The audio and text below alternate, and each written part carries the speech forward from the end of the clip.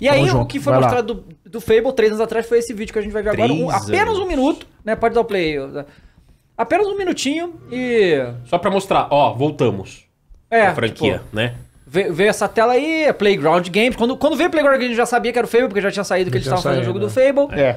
A Playground, isso é um grande desafio, porque a Playground Games só fazia o Forza Horizon por muito tempo, né? Isso vai ser massivo, cara. Aí Eles essa- vão criar, vai ser. Safada aí. É.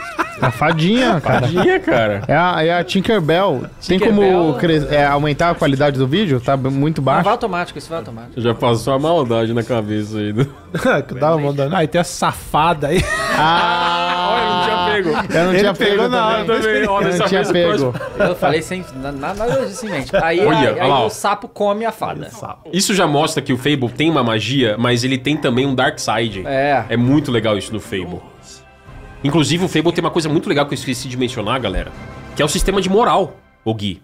É, curte esse ele sistema tem, de moral. ele tem esse o que você faz molda o caráter do seu personagem. Né? Se Mas você vem cá, sai matando. esse jogo ele é mundo aberto? Eu não Mundo manjo aberto, nada. mundo ele é aberto. mundo aberto e você... Porque assim, isso quer dizer muito da. Playground, por exemplo. Porque a gente sabe É, que ela faz o mundo bagulho aberto. bonito pra caralho e não Yes. dá pra esperar coisa diferente deles, Mundo né? aberto. é. Você vai pegando missão e aí, Cross, vamos supor, você entra num vilarejo, você pode matar as pessoas.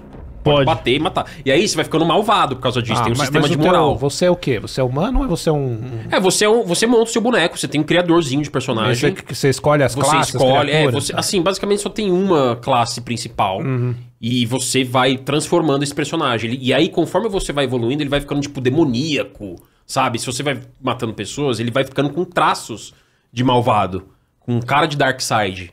Tipo, é muito legal essa transformação que o Fable traz dos personagens. Maneiro.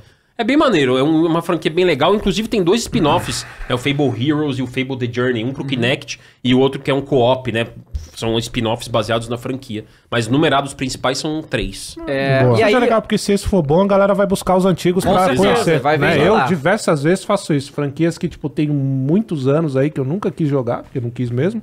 Aí eu jogo o novo e falo, porra, maneiro isso aqui. Aí eu vou jogar os antigos. Boa. Algumas Boa. vezes eu me lasco, porque os antigos é ruim mesmo. Por Pois isso que eu é, não tinha vai, vai jogado. fazer isso com o Witcher, você vai passar mal. Pois é. Witcher 1, mano. O Witcher 1 é difícil. Vai ter Mas remake, o, aí- de- o 2 é Dois é legalzinho. jogável. É o 1 remake que eu quero jogar. O Pô, Gabriel isso. Felipe mandou 10,90. O Café com Tech mandou, virou membro pelo quarto mês. Falou, boa viagem, meus queridos. Vocês acham que o Starfield vai colar no mercado BR? Não. Vai, vai ter, vai, vai É. ser vendido aqui, mas não vai vingar, porque não adianta. Isso é uma resistência do brasileiro. Difícil.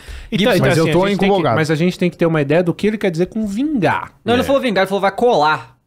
Então, mas É. é. é, tipo, ele tá dizendo o quê? Que vai vender muito, vai ficar na boca da galera. É, e isso eu acho vai que ficar não. em alta. E eu, eu acredito que não, mas eu É acredito difícil. que pro público que ele tá vindo, porque ele tá vindo pro Brasil, tem uma galera específica que Claro. adora esse tipo de jogo. Então, pra É. essa galera, eu acho que vai combar bem.